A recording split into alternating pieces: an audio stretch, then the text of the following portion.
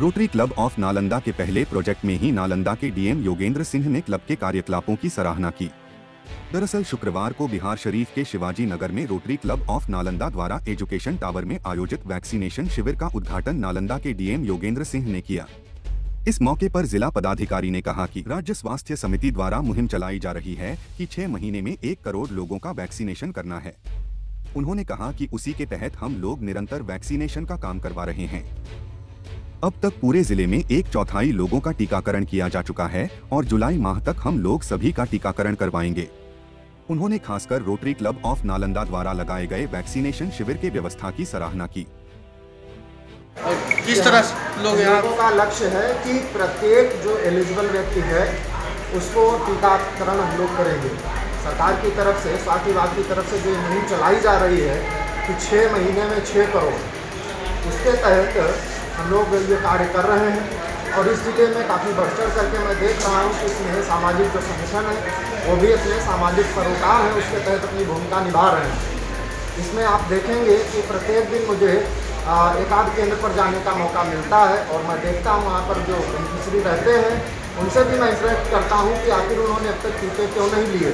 तो अलग अलग बात पर कई लोग बताते रहते हैं लेकिन जो शुरुआत में हम लोगों ने देखा कि रेजिस्टेंस था वो अभी बिल्कुल नहीं है। और इसमें एक बड़ी भूमिका इन सामाजिक संगठनों की भी है, जो लगातार लोगों के बीच में इसकी जागरूकता फैला रहे हैं एडवोकेसी कर रहे हैं कि वैक्सीन सुरक्षित है और ये ही एकमात्र जो है सुरक्षा का जो कोविड है, उससे अभी तक का एक उपाय है। तो आप देखेंगे कि लगातार शहर में भी जो केंद्र हैं वैक्सीनेशन सेंटर्स हैं, उनकी भी संख्या बढ़ रही है। हम लोगों ने कुछ एक्सक्लूसिव वीमेन सेंटर भी खोले हैं, जहाँ पर महिलाओं को टीका दिया जा रहा है। बाकी हमारे सभी सेंटर्स पर सभी के लिए टीका उपलब्ध है और प्रत्येक दिन बहुत बड़ी मात्रा में डोज उपलब्ध रहती हैं। हम लोगों का लक्ष्य है कि 15 जुलाई तक हम लोग इस टाउन को 100 परसेंट वैक्सीनेट करें और इसके बाद में फिर हम लोग बाकी जगहों पर करें। आज के डेट में अगर हम लोग देखेंगे तो पूरे ज़िले की लगभग एक चौथाई आबादी को हम लोगों ने टीकाकृत कर दिया है। तो आ, सभी लोगों से मेरी गुजारिश है आप लोगों के माध्यम से कि जिन लोगों ने अब तक अगर टीका नहीं लिया है वो अपने नज़दीकी केंद्र पर आकर के अपना टीका लें। और हम लोगों ने नाइन टू नाइन टीका केंद्र भी खोला हुआ है वहाँ पर भी आकर के ले सकते हैं। जहाँ भी सुविधा हो जहाँ भी उनको आसान लगे वहाँ पर ये टीका लें। इस केंद्र पर जो हमारे रोटरी के यहाँ संगठन के जो हमारे पदाधिकारी हैं इन लोगों ने काफ़ी अच्छे इंतज़ाम किए हैं। आप देखेंगे, वहाँ पर रजिस्ट्रेशन से लेकर के ऑनलाइन रजिस्ट्रेशन टीका देने की व्यवस्था, उनके इंतज़ार की व्यवस्था, सारी चीज़ों का बहुत अच्छा यहाँ पर किया गया है। और ये पूरा इलाका बहुत घनी बस्ती है तो मुझे पूरी उम्मीद है कि यहाँ पर अधिक से अधिक लोगों का जो है टीकाकरण किया जाएगा।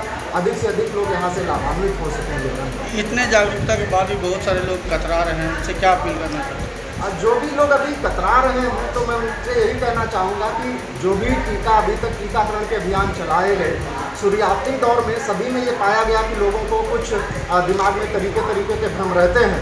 इसमें भी हमने देखा, जैसे कल भी मैं केंद्र पर गया था, वहाँ पर जो बेनिफिशरी आई हुई थी, वो पीजी की स्टूडेंट थी इंग्लिश की नालंदा कॉलेज में। और टीका लेने के बाद में इतना मोटिवेटेड थी कि उन्होंने स्वयं अपना वीडियो भी वहाँ पर बनवाया और बाकी लोगों को भी प्रेरित किया। तो ये जो रहता है, जो गलत फहमी है लोगों के बीच में, ये कहीं से भी सोशल मीडिया से या दूसरे स्रोत से आ जाती है। तो लगातार हम लोग इसका खंडन भी कर रहे हैं और हमारे जो सामाजिक संगठन है, वो भी लगातार इस मुहिम में लगे हुए हैं और काफ़ी मेहनत कर रहे हैं। लोगों को टीकाकरण केंद्रों तक लेके आ रहे हैं। डोर टू डोर जाकर के उनको अवेयर भी कर रहे हैं कि अपना टीकाकरण करवाएँ और आगे आने वाले दिनों में हम लोग टाउन में अभियान भी चलाएँगे कि जिन लोगों ने टीका नहीं लिया है अगर वो लोग दुकान खोल रहे हैं कुछ वैसा काम कर रहे हैं जहाँ पर दूसरे लोग आते हैं तो हम लोग की कार्रवाई भी इस पर करेंगे।